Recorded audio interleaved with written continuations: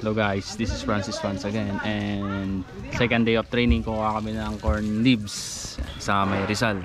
Ito mga pogi kong kasama oh. Yun oh. Yan. Si Sir, ano pangalan na Sir? Mozart. Sorry. Sir Pogi. Tonton Alarcon. Ito yung pinaka-pogi na naman. Goma. Drum.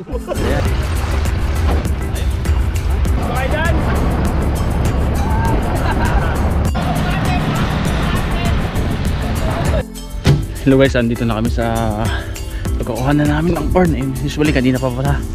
Yan, iniimbak na namin dito. Pupunuin namin para ipakain sa mga kalabaw.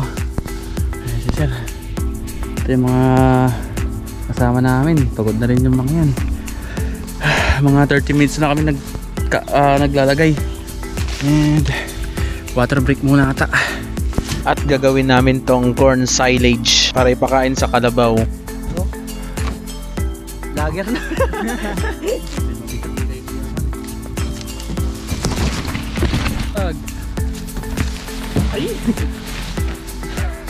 Hi! Welcome to my vlogs. Sir, nilong ko naman dyan. Makapagod na kami guys. the next day. At sa umaga ay pinipprepare namin ulit tong mga kalabaw para sa milking process na gagawin namin ngayon. Hello guys, schedule naman natin ngayon ng milking. Kasama natin si Sir GM. Ayan, si Sir Michael. And ang pangalan ulit? Pogi. Igo. Igo. Ayan ang mga kasama ko sa milking assistant ngayon. At ngayon ay tinuturuan ni Sir Mike si Nico kung paano i-operate itong milking machine.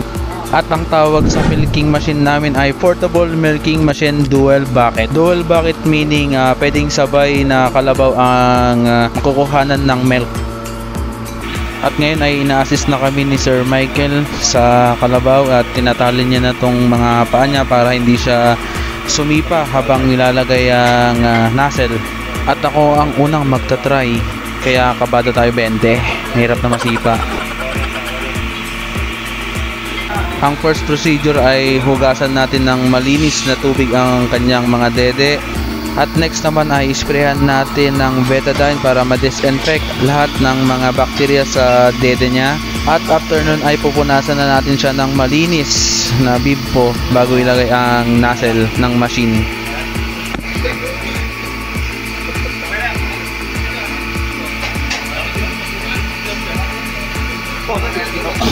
Sumipa pa nga.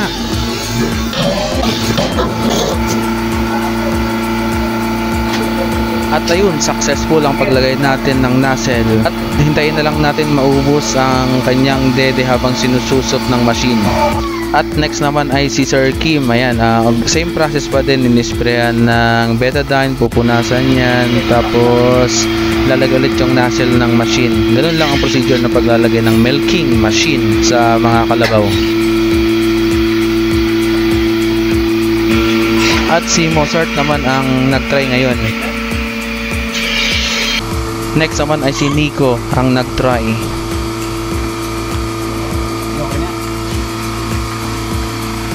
At last ay si Ace.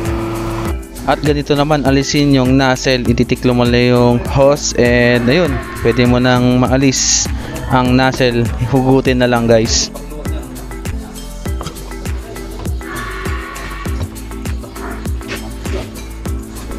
At pagkatapos ng milking machine ay tra-transfer naman natin yung milk sa receiving area para i-transfer sa lalagyan. At ikikilo din natin para malaman natin kung ilan yung nakuha nating milk. 8.9 po.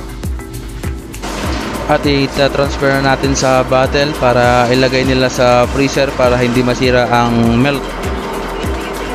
At ito naman ang mga record ng mga kalabaw at may kanya-kanya silang pangalan guys. Diyan mo matatrack ang mga kilos na naproproduce ng mga kalabaw guys.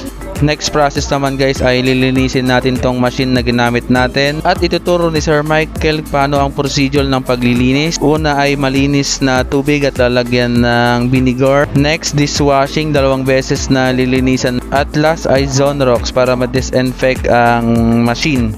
At ang pinakalas na gagawin guys ay magpakain na ng kalabaw. At yan, dyan na matatapos ang ah, second day of training namin guys. Thank you sa panonood. Pa-like and follow na lang din guys. And pati na rin yung Facebook page na MCCR Pascual Dairy Farming.